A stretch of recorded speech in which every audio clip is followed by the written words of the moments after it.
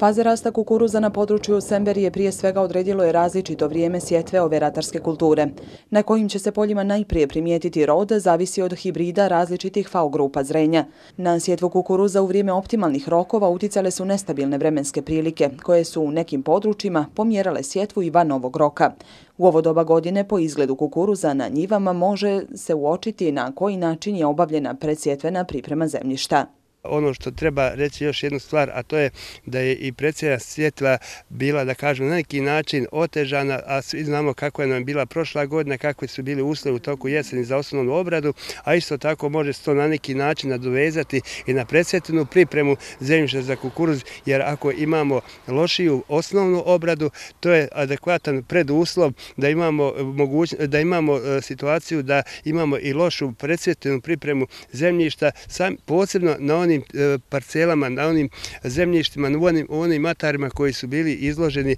e, dužim poplama gdje se voda više zadržava. Međutim, to je ovaj sada vrijeme iza nas, ostaju samo posljedice. Stoga su i fenološke faze kukuruza različite, da kažemo, od intenzivnog porasta kukuruza, pa čak od, na nekim parcelama se e, u ovo vrijeme već može vidje, uočiti i faza metličenja, a sa njom 3-4 dana ide faza svilanja. To je prvenstveno kod onih hibrida koji su ranije manje grupe zrenja, što je i normalno. Tako da e, mi očekujemo opet da će to na neki način, od, da kažemo intenzivno, e, da kažemo metličenje, e, svilanje, u nekoj, da kažemo, 7 do 10 dana biti da, u jednom, da će biti kukuruz u punim tim fazama. Ipak posljedica ima, kažu stručnjaci, jer je u pojedinim matarima gdje je ova kultura sijana u monokulturi kukuruz napala kukuruzna zlatica. Ova negativna pojava jasno opominje proizvođače zašto trebaju poštovati plodored ne odnosi se na cjelokupno, na cjelokupno, cjelokupno proizvodno područje ovdje u Semberi, je, primje, je primjećena i, oči, i očena je pojava kukuruzne zlatice. O njoj smo i mi pričali i prije, u ranijim godinama. To se već provlači, ima desetno i više, desetak i više godina kako se o tome e, priča, razgovara, ukazuje na taj problem. Ovog puta bi zaista želio da istaknem jednu činjenicu koju smo isticali prije, a koja se na neki način, ako mogu tako slobodno da kažem, obila o glavu poljoprivrednim proizvođačima kod koji se pojavila, jer su to e, e, e, proizvođači koji su kukuruz siju stalno u monokulturi u ponovljenoj svijeti čak dvije, tri godine. A da ne govorim za one proizvođače koji kukuruz u monokulturi gaje 5, 6 i više godina. Gajanje kukuruza u monokulturi je uslovilo ove godine da imamo ovaj jak napad i maga prvenstvo, znači odraslih insekata koji u prvi moment uništavaju list, a ti simptomi kod priđača su slični kao simptoma e, kada napada lema.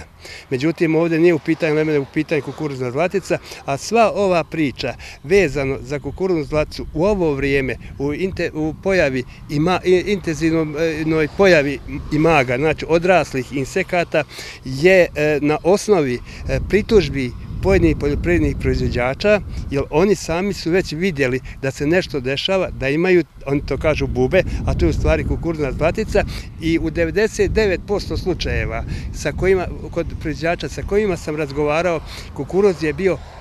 predkultura jednu, dvije, tri, pa čak i više godina. Prema tome, e, ovo je možda jedan apel proizvođačima da razmišljaju malo unaprijed za sljedeću sezonu, da znači e, kukuruz treba gajiti u plodoredu, Jedan od razloga je i ovo, jer je kukuruzna zlatica kod nas jako zastupljena i širi se i ovo vrijeme joj pogoduje.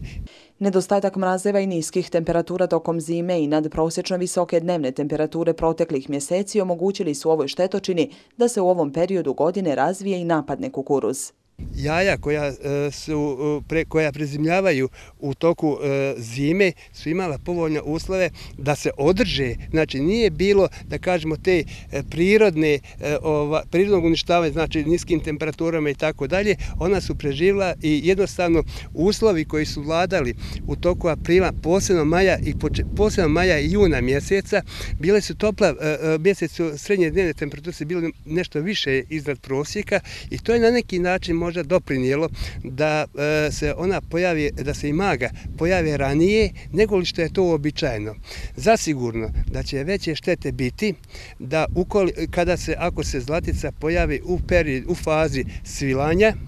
jer je e, e, svila je e, najslađe nešto što zlatica voli, a u isto vrijeme je to najveća opasnost za kukuruz, odnosno za oplodnju. Jer se zna ukoliko e, na bilo koji način, a ovom prilikom govorimo o zlatici, znači o imagu zlatice, e, uništi svilu, pojede svilo, što je njeno omiljeno jelo, ne dolazi do oplodnje i dobijamo smanjenje i dobijamo manji broj zrna po klipu, odnosno e, ili po biljci, a samim tim i umanjenje prinosa koje može da bude 20, 30, pa čak i više procenata. Znači sve, čak i do 50 se navode ti podaci. Stručnjaci savjetuju poljoprivrednicima koji se susreću sa ovim problemom da ako mogu fizički sa mehanizacijom ući u njive da obave tretman uništavanja imaga kukuruzne zlatice. Tamo gdje je još kukuruz u fazi intenziporacije su, možda da kažem, metar, metar i 20 centimetara visine gdje se može ući i ako primijete da imaju imaga, znači da, da le, u, koje, koje lete, koje, da, e, mogu da koriste određene insekticide, najobičnije kao što se koriste insekticide za suzbije krompira, zlace ili drugih insekata, toga, ti preparata ima, e, e, a to je nije jedina mjera, to je samo mjera koja e, sprečava brojnost te populacije, E sad, u slučaju, kod onih proizvođača koji možda imaju veće, kod kojih je kurs podmakao, ne mogu da uđu, tu je sad veliki problem. Tu je problem uopšte suzbijanja zlatice je e, kao e, i drugih insekata e, koji kasnije izazivaju, na primjer, prenosioci crvena kukurza i tako dalje, jeste problem što mi nemamo mehanizaciju koju možemo ući u kukuruz koji je već izbac, ima, izbacio metlice, oprašio se i, i, i, i svilao, jer u to vrijeme treba, bi to trebalo, a tada je kukuruz veće sine od, da kažemo, oko 2 metra.